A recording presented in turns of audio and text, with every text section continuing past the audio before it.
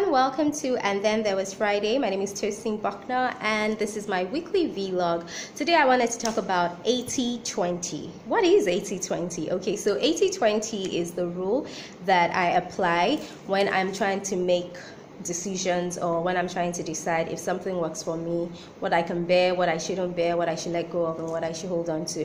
I have to be very honest, I don't remember how I got this 80 20 rule, but I've seen it a couple of times one of my friends once said that when he, you know, in making his decision as to who he was going to be with permanently, he realized that he's never going to find someone perfect. And so for him is is he going to continue chasing the 20% that his partner does not have?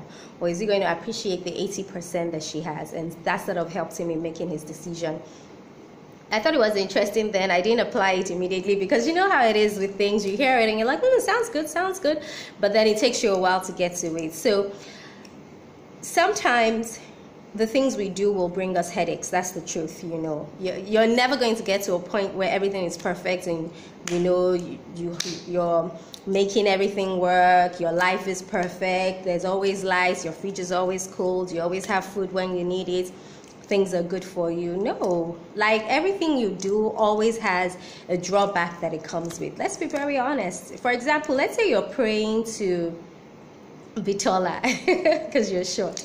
And then you do get taller by some i don't know magic of things. You might find out that tall people actually have issues too and then you'll be like oh wait well i like being tall but i wish you know it didn't come with these problems as well. Or let's even take it more seriously. Let's say you you keep on praying for a job. You're like god i want a job. I want a job. I want this kind of job. I want this kind of job. And then you get that kind of job. And then you realize the headaches that it comes with because maybe you got your dream job but now you have to wake up extra early to go for your job. Or maybe you got your dream job, but now you don't always see your friends as much as you wish you could. And so everything that we do and every step that we take comes with a sacrifice that we must make. And so the question is how do you decide?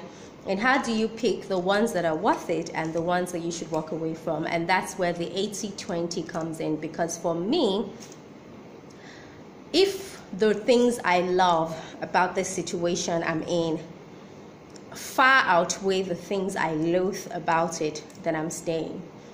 But if the things I loathe are about the same or they outweigh it, then I'm going. And so, obviously, life is not mathematics. Sometimes it helps to draw a line and say, okay, pros and cons, what are the things I like? Let's say a job for example what are the things i like about this job? What are the things i don't like? Let's say a relationship. What are the things i like about this relationship? Friendship food.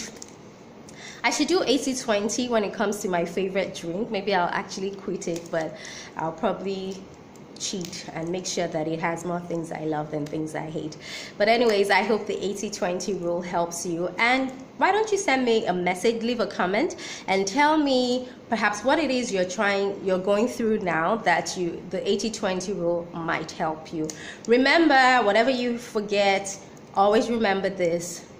If it does more for you than it hurts you, then you always have to wait. Which one is better? Which one do you get the most out of? Huh?